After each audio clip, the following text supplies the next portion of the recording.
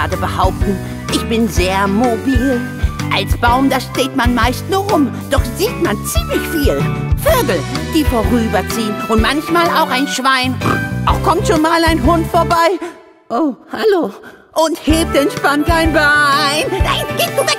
Ich möchte klettern auf die Berge, immer hoch hinaus. Stattdessen stecke ich fest hier drin und sehe bescheuert aus.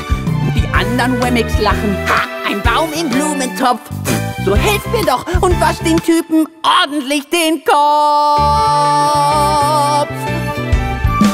Springen, laufen oder rennen wie ein Blitz. Ja, das wünscht sich dieses Bäumchen. Es wäre doch ein Träumchen.